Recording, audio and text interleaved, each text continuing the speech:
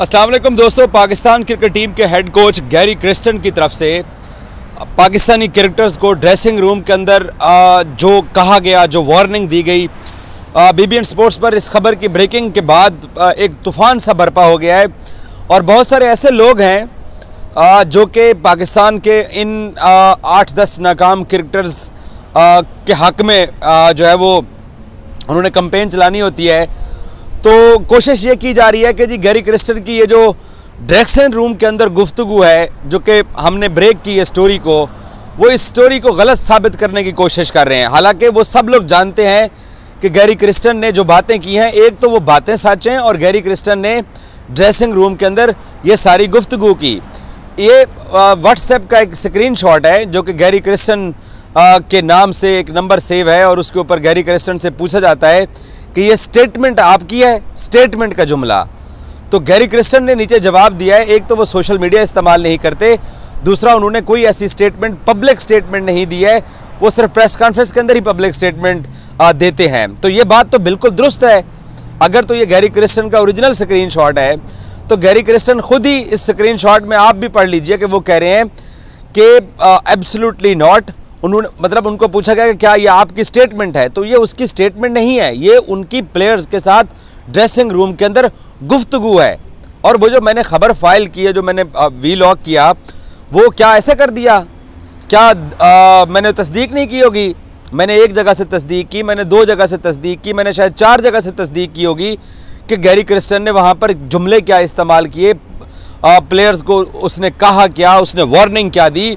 सो so, मैं सिर्फ़ इतना कहना चाहता हूँ, उन लोगों को जो कि पाकिस्तान की इस वक्त की जो टीम की हालत है, वो उसके ऊपर अगर पर्दा डालना चाहते हैं, अगर वो ये चाहते हैं कि वो इस इस बात को छुपा लें कि जो टीम के अंदर हो रहा है, या जो टीम के कुछ सीनियर प्लेयर्स, जैसे गैरी क्रिस्टन ने भी कहा कि तुम लोगों के अलग अलग मुख्तलिफ़ सिमत के अंदर तुम लोगों के चेहरे हैं, तुम एक दूसरे से बात नहीं कर रहे हो, एक दूसरे के साथ ताउन नहीं कर रहे हो और कहने को तो तुम एक टीम हो लेकिन तुम एक टीम नहीं हो तुम एक यूनिट नहीं हो।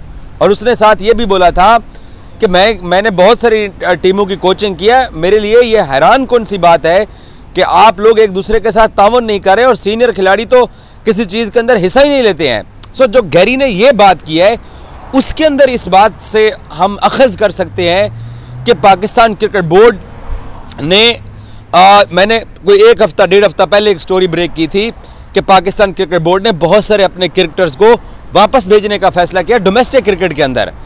तो अब बहुत सारे क्रिकेटर ऐसे हैं, उनके रोफका को ये नज़र आ रहा होगा कि इंटरनेशनल सर्कल के अंदर अब उनकी जगह नहीं बनने जा रही है। उनको वापस डोमेस्टिक क्रिकेट में भेजा जाना है और वो जब वो डोमेस्टिक क्रिकेट के अंदर वापस जाएँगे तो फिर उनको पाकिस्तान की फ़र्स्ट क्लास क्रिकेट खेलनी पड़ेगी।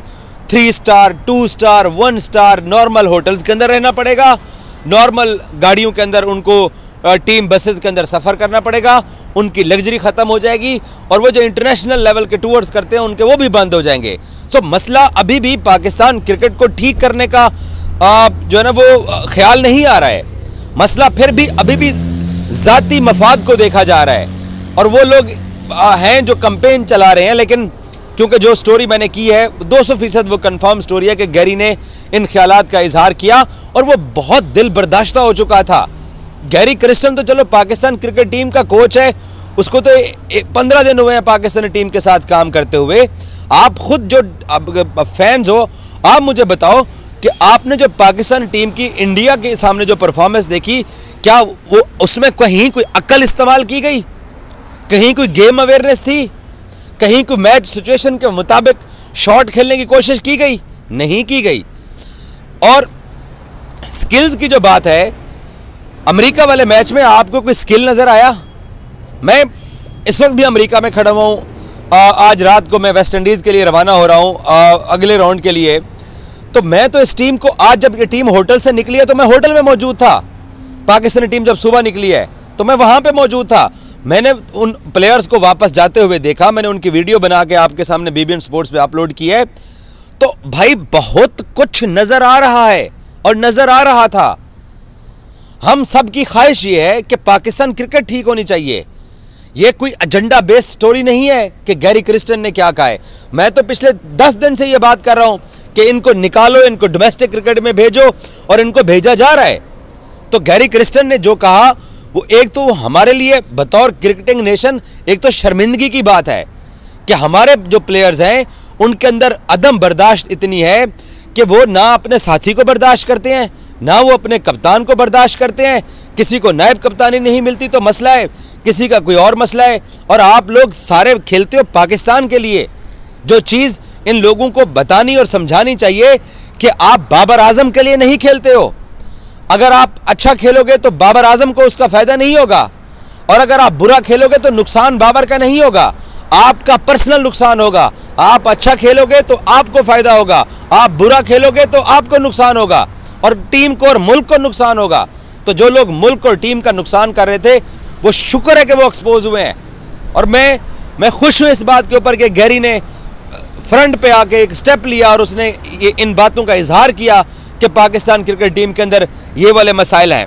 स्किल्स के हवाले से, क्या आप फिटनेस पाकिस्तान क्रिकेट टीम की जानते हैं कि क्या है? किसी एसोसिएट टीम के मुकाबले में भी हमारी फिटनेस अच्छी नहीं है। तो अब उसके ऊपर पर्दा डालने की कोशिश की जा रही है, उसके स्क्रीन शॉट बनाए जा रहे हैं, उसको छुपाने की कोशिश की जा रही है, उसको नया रंग देने की कोशिश अगर तो ये ओरिजिनल स्क्रीन शॉट है तो फिर फिटे मुँह तो हटा, कि वो कह रहा है कि यार मैंने कोई पब्लिक स्टेटमेंट नहीं दिया है। प्रेस कॉन्फ्रेंस के अलावा मैं कोई पब्लिक स्टेटमेंट नहीं देता, ना मैं सोशल मीडिया इस्तेमाल करता हूँ। तो उसने ये स्टेटमेंट नहीं थी, ये गुफ्तगु थी उसकी, यही मैंने वीलॉग किया था। और अगर आप लोगों ने इस स्क्रीन शॉट को बनाया है तो फिर भी तो फिटे मुँह। उसके अंदर भी आप वही लिख रहे हो जो हम कह रहे हैं। कि उसने प्लेयर्स के सामने ये गुफ्तगु की है। और पाकिस्तान क्रिकेट टीम के प्लेयर्स के पास बड़ी अच्छी अपॉर्चुनिटी थी जो इन्होंने ज़ाय कर दी है।